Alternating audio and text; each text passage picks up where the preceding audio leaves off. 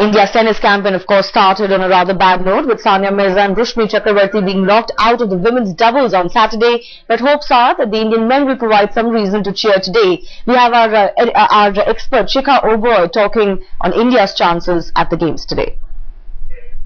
So it was a tough day yesterday for Rushmi and Sania, but let's hope that our men can do a little better. Uh, it is going to be a tough draw, mind you, but um, I think we have some openings and some windows of opportunities.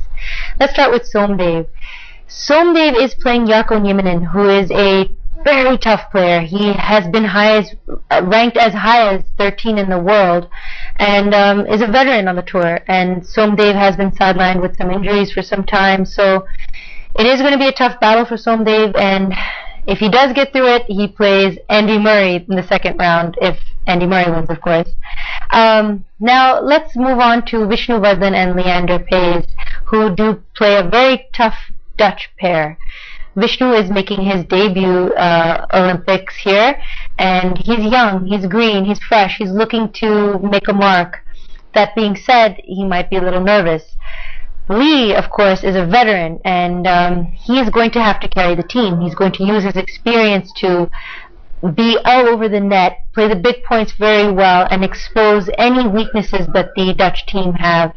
Uh, the Dutch team, you know, of Haase and Rojer are very good. Uh, Haase is a very good singles player and as well as a doubles player, and of course, uh, Rojer is a uh, doubles specialist. So it's not an easy draw, but there may be a window of opportunity.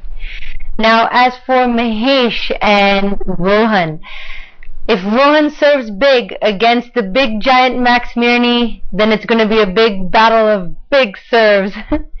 but um, you know, Max Mirnyi and Mahesh have a history together playing very well, uh, so that could play an advantage for Mahesh to know some inside scoop.